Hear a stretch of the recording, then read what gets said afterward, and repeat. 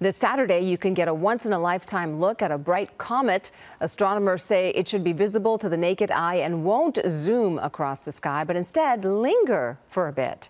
According to NASA, the celestial body would have uh, will, would have last been seen from Earth at the time of the, the Neanderthals. Stargazers hoping to spot the bright comet should venture outside soon after sunset and look to the west.